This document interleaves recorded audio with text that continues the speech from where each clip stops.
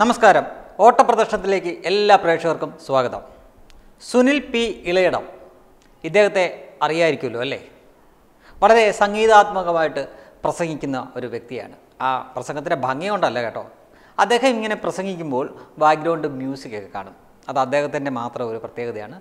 അദ്ദേഹം അദ്ദേഹത്തിന്റെ പ്രസംഗങ്ങൾ യൂട്യൂബിൽ കേട്ടിട്ടുള്ളവർക്കറിയാം. പുറകിൽ ഇങ്ങനെ കണ്ണീർ പൂവിന്റെ കവളിൽ തലോടി എന്നൊക്കെ പറഞ്ഞുകൊണ്ട് പാട്ടൊക്കെ കാണാം. അതിന്റെ മ്യൂസിക്കൊക്കെ കാണും. എന്നിട്ടാണ് അദ്ദേഹം ഇങ്ങനെ കൈയും കാലൊക്കെ എടുത്ത് സംസാരിക്കുന്നത്.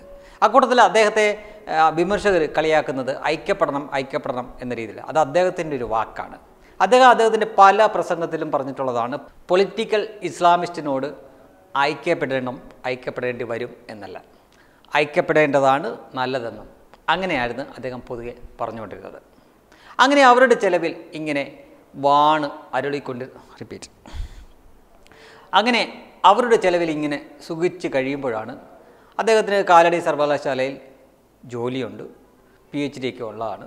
ഇത് വളഞ്ഞ വഴിയിൽ കൂടെ കിട്ടിയതാണെന്ന് പറഞ്ഞൊരു വിവാദമൊക്കെ വന്നപ്പോൾ വളരെ പെട്ടെന്ന് തന്നെ സ്വിച്ച് ഇട്ടതുപോലെ ഇദ്ദേഹം നിശബ്ദനായി. പിന്നെ കുറേ കാലം ഒളിവിലായിരുന്നു. ഇപ്പോൾ ഇതാ നേരിട്ടല്ല.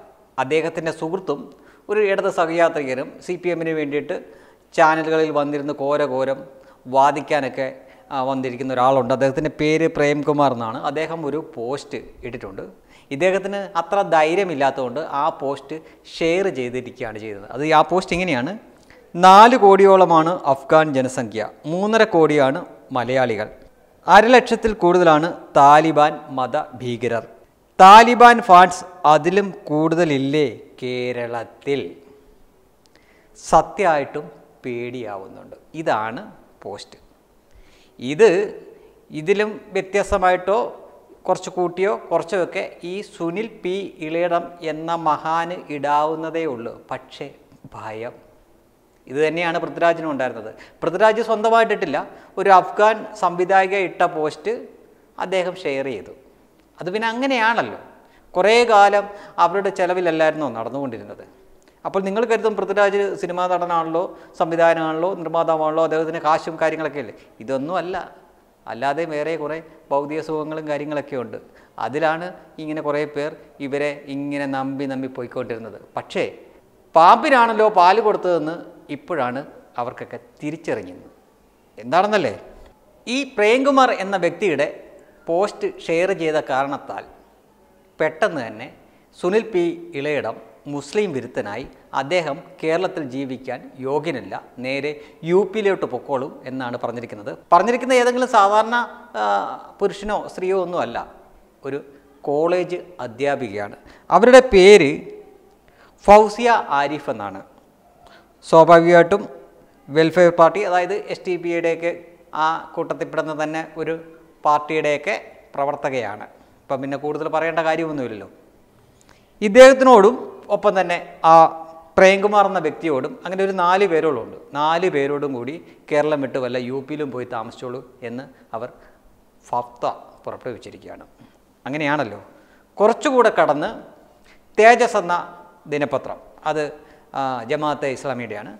അവർ കുറച്ചുകൂടെ കടന്ന് പച്ചയായിട്ടുള്ള മുസ്ലിം വിരോധമാണ് ഈ സുനിൽ പി ഇളയിടം പറഞ്ഞു തന്ന രീതിയിലാണ് അവർ അതിനെ ആക്കിയിരിക്കുന്നത്. അദ്ദേഹം ഒരാളുടെ പോസ്റ്റ് ഒന്ന് ഷെയർ ചെയ്ത് മാത്രമേ ഉള്ളൂ. പേടി കൊണ്ടാണ് അങ്ങനെ ഷെയർ ചെയ്തത് സ്വന്തമായിട്ട് അഭിപ്രായം പറയും. വലിയ ഫാസിസ്റ്റുകൾ ആണ് അല്ലെങ്കിൽ ഭീകരരാണ് അങ്ങനെ ചെയ്യും ഇങ്ങനെ ചെയ്യുമെന്ന് പറയുന്ന ആർ എസ് എസിന്റെ എതിരെയോ അല്ലെങ്കിൽ ബി ജെ പിയുടെ എതിരെയോ ആണെങ്കിൽ ഇവർക്ക് യാതൊരു പേടിയുമില്ല. ഇപ്പോൾ ഇവർ ഇവരെ ഫാസിസം ഫാസിസം എന്ന് വിളിച്ചിട്ട് ഫാസിസത്തിന് തന്നെ നാണമായിട്ടിരിക്കുകയാണ്. അവർക്കെതിരെ ഇവർ ഒരു മടിയുമില്ലാതെ എന്തും പറയും. വേണ്ടി വന്നാൽ പ്രധാനമന്ത്രിയെ ചീത്തയും വിളിക്കും. അതിനൊന്നും അവർക്ക് യാതൊരു പേടിയുമില്ല. പക്ഷേ ഏതോ ഒരു നാട്ടിലെ ഏതോ ഒരു ഭീകര സംഘടനയെപ്പറ്റി കേരളത്തിൽ മിണ്ടാൻ ഭയമാണ്. അതെ വൈകിയാണെങ്കിലും അവർ തിരിച്ചറിയുന്നു. പാമ്പിനാണല്ലോ ഇതുവരെ പാൽ കൊടുത്തതെന്ന്. അതെന്തായാലും നല്ലത് തന്നെയാണ്. ഇനിയെങ്കിലും തിരിച്ചറിവുകൾ ഉണ്ടാകുന്നത് വളരെ വളരെ നല്ലത് തന്നെയാണ്. ഇത് മാത്രമല്ല മറ്റൊരു വാർത്ത കൂടിയുണ്ട്. അത് കഴിഞ്ഞ വാർത്തയാണ്. എന്നാലും അത് നമ്മൾ ചർച്ച ചെയ്യേണ്ടത് തന്നെയാണ്. ഡെമോക്രസിയിൽ ജനം പൊറുതിമുട്ടുന്നില്ലേ? ശ്രദ്ധിച്ച് കേൾക്കണം. ഡെമോക്രസിയിൽ ജനം പൊറുതിമുട്ടുന്നില്ലേ? ജനാധിപത്യത്തിൽ ജനങ്ങൾ പൊറുതിമുട്ടുന്നില്ലേ എന്നാണ് ചോദിച്ചിരിക്കുന്നത്. ചോദിച്ച team Rasheed Hudawi Elamkulam Shibu Meeran Anoop V R Mubarak Rawther ഇവരൊക്കെ കഴിഞ്ഞ ആഗസ്റ്റ് പതിനഞ്ചിന് ഒരു ക്ലബ് ഹൗസിൽ മീറ്റിംഗ് ഒക്കെ നടത്തിയിരുന്നു. നോക്കൂ ചർച്ചകളൊക്കെ ഏത് വഴിക്കൊക്കെയാണ് പോകുന്നതെന്ന് നോക്കിയേ. ജനാധിപത്യത്തിൽ ജനങ്ങൾ പൊറുതിമുട്ടുന്നില്ലേ എന്ന്.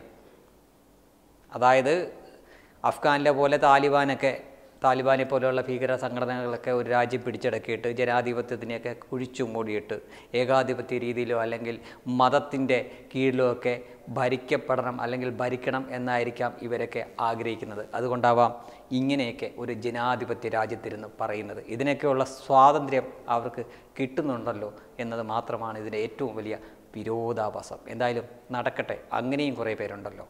ഇനി നമ്മുടെ സംസ്ഥാനത്തെ കോവിഡിന്റെ കണക്ക് പറയുകയാണെങ്കിൽ ഇന്ന് ഇരുപതിനായിരത്തി ഇരുന്നൂറ്റി ഇരുപത്തിനാല് പേർക്കാണ് കോവിഡ് സ്ഥിരീകരിച്ചത്. അതേപോലെ തന്നെ ടെസ്റ്റ് പോസിറ്റിവിറ്റി നിരക്കുന്നതും കൂടിക്കൊണ്ടിരിക്കുകയാണ്. പതിനാറ് ദശാംശം ഒൻപത് നാലാണ്. ഇന്ന് മരണനിരക്ക് കാണിക്കുന്നത് നൂറിന് താഴെയാണ്. തൊണ്ണൂറ്റി ഒൻപത് പേരാണ് ഇന്ന് നമ്മളിൽ നിന്ന് വിട്ടുപോയതായിട്ട് സർക്കാർ കണക്കിൽ പറയുന്നത്. സർക്കാർ കണക്ക് കണക്കിനെ പറ്റി പ്രതിപക്ഷത്തിനും മറ്റു പലർക്കും ആക്ഷേപങ്ങളുണ്ട്. അതെന്തായാലും അവർ തരുന്ന വിവരം ഇപ്പം നമുക്ക് പറയാൻ സാധ്യം സാധ്യമുള്ളൂ. മരണം തൊണ്ണൂറ്റൊൻപതാണ്. എല്ലാവരും സുരക്ഷിതരായിരിക്കുക. ശുഭരാത്രി. Web desk Tatwamayi news.